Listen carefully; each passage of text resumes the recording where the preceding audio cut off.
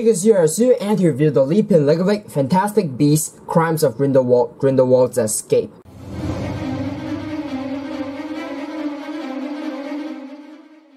So this is the box itself right here and as you can see it's recommended for just 6 and up and this is set 1605 comes with 148 pieces and 2 minifigures. The 2 minifigures are Gellert Grindelwald and Seraphina Picquery and the box art itself it's copied directly from the official Legos version and at the top here it says Magic World and at the corner here it shows you some of the Fantastic Beasts uh, characters and this is the top of the box which has a handle and and also shows you the actual size of Gellert Grindelwald.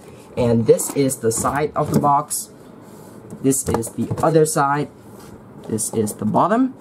And finally this is the back which shows you all of the features. And the back of the box does look quite good. But aside from that that's pretty much it for the box inside the box, it does come with a small crate. So this is the instruction manual right here, and this is the front. This uh, here shows you how to build the minifigures, and uh, shows you how to fire the Power Blast piece. And this is the first page of the build.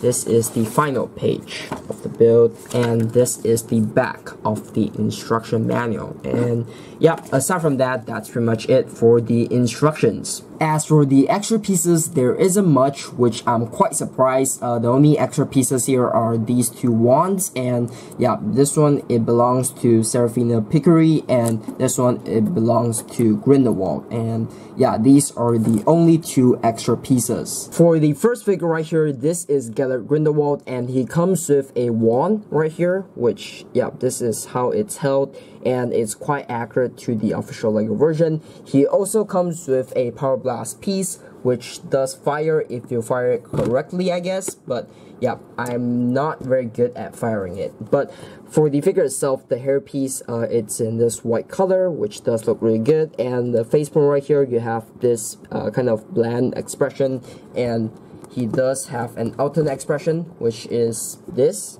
which I'm not sure what is the expression, but the rest of the figure, the torso print, uh, it does look really good. You have the jacket right here, you have the under white shirt, and you have the green shirt right there, and yeah, the leg printing, it looks really nice as well, and yeah, this is the back of the figure, and yeah, does look quite good. Uh, it's all just simple printing, and yeah, aside from that, that's pretty much it for Gellert Grindelwald. And the second figure right here is Seraphina Picquery, and she comes with a hat piece right here, which is incorrect, which does kind of suck, but the figure looks okay without the original hat piece.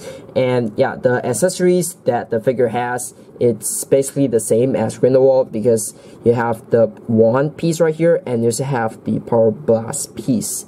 And yeah, the one piece is in uh, purple. And for the face print itself, it does look really good. You have the hair coming out at the side.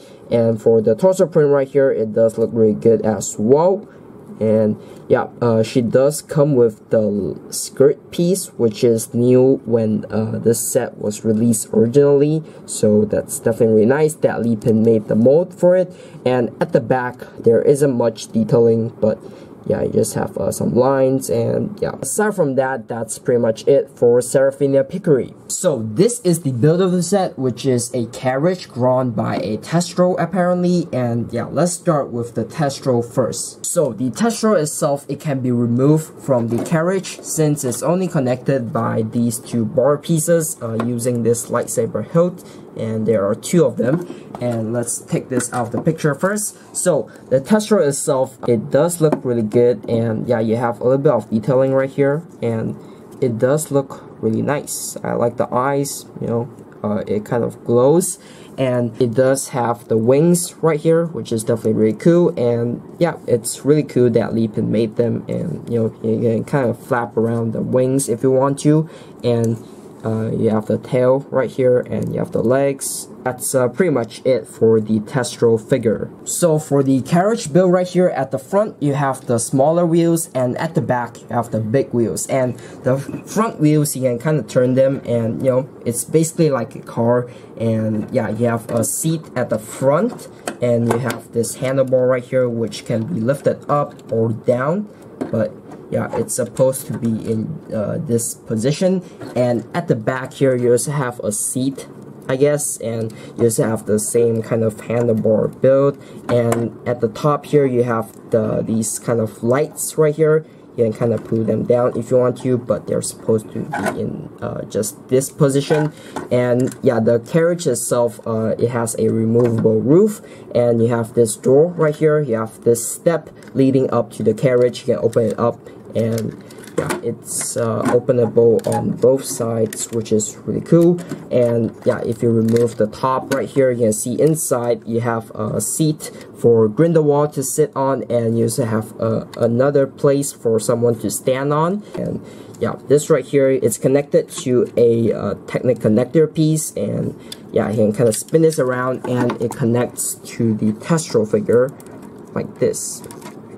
So yeah it's quite a simple build and yeah there's not much going on with this build so yeah, um, that's pretty much it for the carriage build. So, overview of this set here, so highlight of it. Well, for the figures themselves, I think they are great. The only problem with them is this right here. They included the wrong hat piece for Seraphina Picquery, but I think that's fine. The figure doesn't look that bad, and yeah, it's the only problem with this set right here actually, because the rest of the set, it's all great. They molded everything correctly. You know, you have the one piece, you have the Power Blast piece, and yeah, they even molded the test Thestral correctly as well, and yeah, all of the molds, they are all here, and yeah, the quality control of this set is really good as well. I don't have any problems with this set except for the incorrect hat piece, which I think is fine, and yeah, it's a very good replica of the original set and the rest of the set is all great. So if you want this set, I definitely recommend you getting it. It's very good quality and